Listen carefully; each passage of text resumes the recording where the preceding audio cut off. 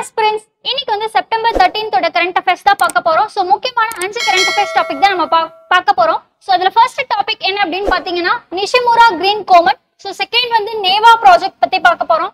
So third வந்து பாத்தீங்கன்னா international conference on dam safety பத்தி பார்க்க போறோம். ஸோ ஃபோர்த் வந்து பாத்தீங்கன்னா பேங்கஸ் வேலி ஃபெஸ்டிவல் அந்த ஃபெஸ்டிவலை பத்தி தான் பார்க்க போறோம். ஸோ ஃபிஃப்த் வந்து பாத்தீங்கன்னா லார்ஜஸ்ட் கண்ட்ரி இந்த world twenty twenty three so இந்த அஞ்சு டாபிக் பத்தி தான் இன்னைக்கான கரண்ட் அஃபேர்ஸ்ல பார்க்க போறோம். ஃபர்ஸ்ட் டாபிக் என்ன அப்படின்னு பாத்தீங்கன்னா நிஷிமுரா கிரீன் கோமட் பத்தி தான் பார்க்க போறோம். அதாவது வந்து நிஷிமுரா பசுமை வால் மீன்கள் அப்படின்னு சொல்றோம்.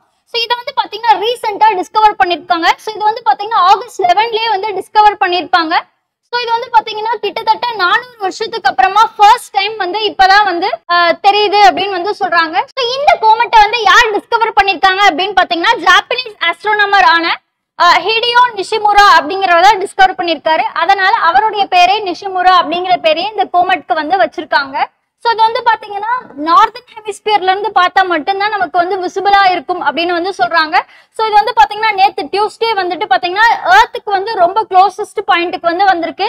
ஸோ நெக்ஸ்ட் பாத்தீங்கன்னா செப்டம்பர் 17th அன்னைக்கு வந்துட்டு சன்னுக்கு வந்து க்ளோசஸ்ட் பாயிண்டா வந்து இது வரப்போகுது அப்படின்னு வந்து சொல்லியிருக்காங்க. ஸோ நெக்ஸ்ட் கோமெட்ஸ் அப்படின்னா என்ன அப்படின்னு பாத்தீங்கன்னா அது ஒரு டேட்டிங் ஸ்மால் பால்ஸ் அப்படின்னு நம்ம சொல்லுவோம். ஸோ அது எதனால் உருவாக்கப்பட்டிருக்கும்னா டஸ்ட் ராக்ஸ் ஐஸ்னால உருவாக்கப்பட்டிருக்கும். ஸோ அப்ப இந்த கோமட் வந்துட்டு சூரியனை நோக்கி சூரியனுக்கு பக்கத்துல போறப்ப என்ன ஆகும் அப்படின்னு பாத்தீங்கன்னா ஹீட்னால என்ன ஆகும்னா அதுல இருக்கக்கூடிய கேஸ் டஸ்ட் எல்லாமே வந்து ரிலீஸ் ஆகும் அப்படின்னு வந்து சொல்லியிருக்காங்க. ஸோ நெக்ஸ்ட் டாபிக் என்ன அப்படின்னு பாத்தீங்கன்னா நேவா ப்ராஜெக்ட் ஸோ இந்த நேவா அப்படிங்கிறதுக்கான அப்ரிவேஷன் என்னன்னு பாத்தீங்கன்னா நேஷனல் இ விதான் அப்ளிகேஷன் அப்படின்னு சொல்றோம். ஸோ இந்த அப்ளிகேஷன் எதுக்காக அப்படின்னு பாத்தீங்கன்னா ஓவரால் இந்தியால கிட்டத்தட்ட பேப்பர்லெஸ் கவர்மெண்ட்டை வந்து எல்லா அசம்பிளிஸ்லயும் உருவாக்கணும் அப்படிங்கிற நோக்கத்தோட கொண்டு வரப்பட்டதான் ஸோ இந்த நேவா வந்து பார்த்தீங்கன்னா ஃபார்ட்டி ஃபோர் மிஷன் மோடு ப்ராஜெக்ட்ஸில் ஒன்று அப்படின்னு சொல்கிறோம் ஸோ இந்த ப்ராஜெக்ட் வந்து எந்த ப்ரோக்ராம்க்கு கீழே வருது அப்படின்னு பாத்தீங்கன்னா டிஜிட்டல் இந்தியா ப்ரோக்ராம்க்கு கீழே வருது. ஸோ இந்த டிஜிட்டல் இந்தியா ப்ரோக்ராமோட எய்ம் என்ன அப்படின்னு பாத்தீங்கன்னா எல்லா ஸ்டேட்ல இருக்கக்கூடிய லெஜிஸ்லேட்டர்ஸ்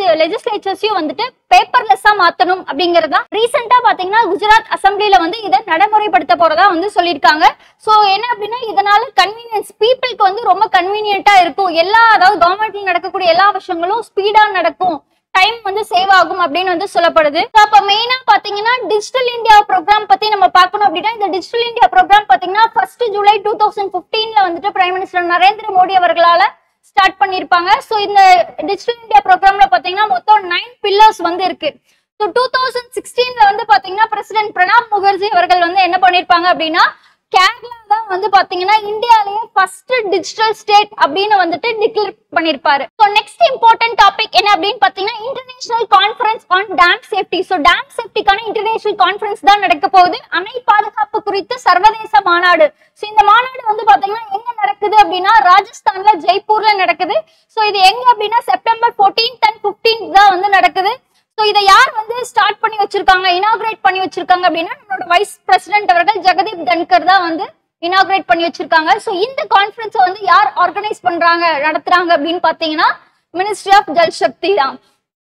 ஸோ இந்த கான்ஃபரன்ஸ்க்கான தீம் என்ன அப்படின்னு பாத்தீங்கன்னா safe and secure dams ensure nation's prosperity அப்படிங்கறதா வந்து இதோடைய தீம் பாதுகாப்பான அணைகள் தேசத்தின் செழிப்பை உறுதி செய்யும் அப்படிங்கறதா இந்த கான்ஃபரன்ஸ்க்கான தீமா வந்து சொல்லப்பட்டிருக்கு.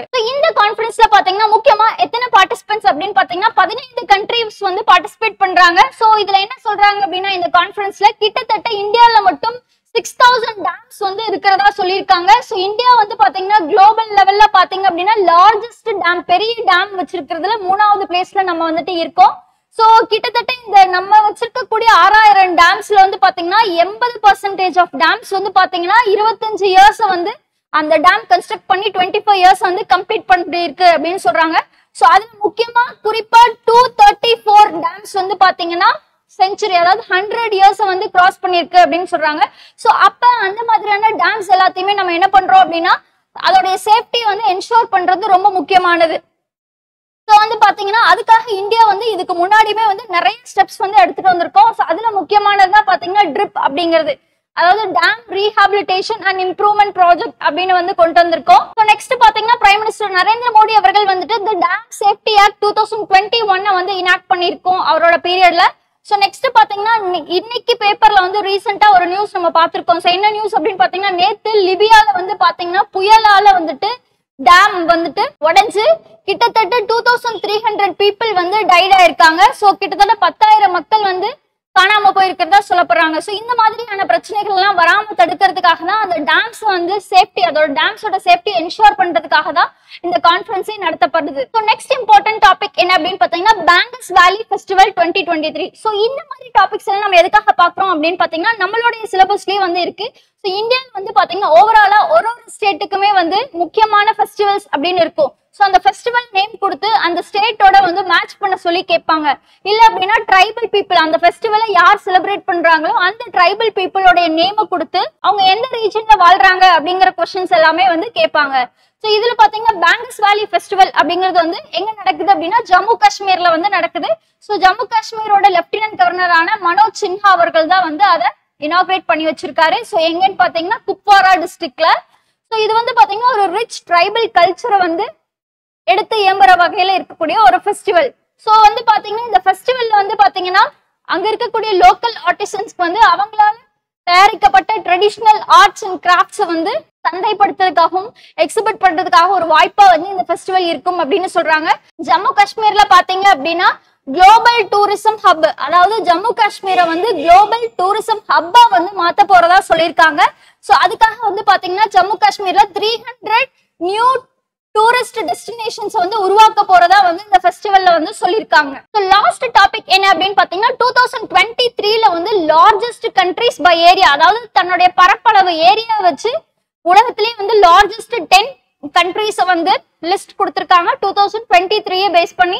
ஸோ அதுல வந்து பாத்தீங்கன்னா பை ஏரியா வச்சு கொடுத்துருக்காங்க. ஸோ டோட்டல் ஏரியா வச்சு தான் அதை டிசைட் பண்றாங்க. டோட்டல் ஏரியா அப்படிங்கிறது என்னன்னு பாத்தீங்கன்னா லேண்ட் ஏரியா வந்து kilometre ஸ்கொயர்லயும் plus water bodies kilometre square so இந்த ரெண்டையும் பிளஸ் பண்ணி வரதான் வந்துட்டு பாத்தீங்கன்னா நமக்கு டோட்டல் ஏரியா ஸோ இதை பேஸ் பண்ணி டாப் டென் லிஸ்ட் வந்து ரிலீஸ் பண்ணியிருக்காங்க ஸோ அதில் வந்து பார்த்தீங்கன்னா ஃபர்ஸ்ட் ரஷ்யா செகண்ட் வந்து Canada third China fourth USA fifth Brazil so நமக்கு டாப் ஒன் அப்படிங்கிறது நமக்கு நல்லா தெரிஞ்ச விஷயமா இருக்கணும். ஸோ டாப் ஒன் அப்படிங்கிறது நம்ம நல்லா தெரிஞ்சிருக்கணும். ஸோ சிக்ஸ்த் பிளேஸ்ல யார் இருக்காங்கன்னு பார்த்தீங்கன்னா ஆஸ்திரேலியா செவன்த் பிளேஸ்ல இந்தியா எயித்து பிளேஸ்ல அர்ஜென்டினா நைன்த் பிளேஸ்ல கஜ கஜகஸ்தான் டென்த் பிளேஸ்ல அல்ஜீரியா. ஸோ இதுலேயே ஸ்மாலஸ்ட் கண்ட்ரி அப்படின்னு பார்த்தீங்கன்னா வேட்டிகன் சிட்டி இந்த டாபிக்ல வந்து நமக்கு என்ன தெரிஞ்சிருக்கணும் அப்படின்னா டாப் த்ரீ கண்ட்ரிஸ் என்ன அப்படின்னு தெரிஞ்சிருக்கணும். டாப் ஒன் ரஷ்யா அது ஞாபகம் வச்சிருக்கணும்.